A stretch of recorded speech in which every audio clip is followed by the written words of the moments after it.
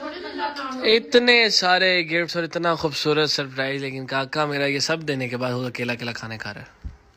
अब तो प्लेट भी खाली होगी काके।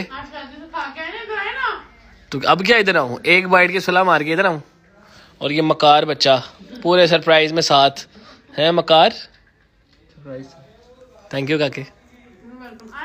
लव यू फॉर एवरीथिंग ओ यार अच्छा मुझे बताने तो दे सबको इतना सरप्राइज़ दिया है। अच्छा अभी पूरा होना? ओ कच्ची।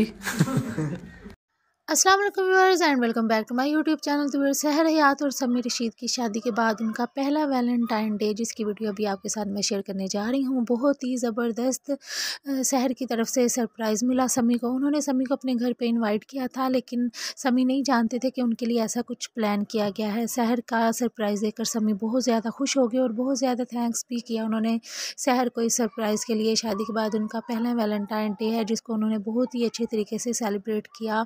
शादी के बाद से ही दोनों एक दूसरे के साथ बहुत ज़्यादा नज़र आते हैं और शादी से पहले तक काफ़ी अरसे तक सहर ने अपने रिलेशनशिप को छुपा कर रखा यहाँ तक कि उन्होंने ये तक नहीं रिवेल किया था कि उनकी शादी किससे होने जा रही है और तमाम लोग ये जानने के लिए बेचैन थे कि आखिर सहर का होने वाला दूल्हा कौन है।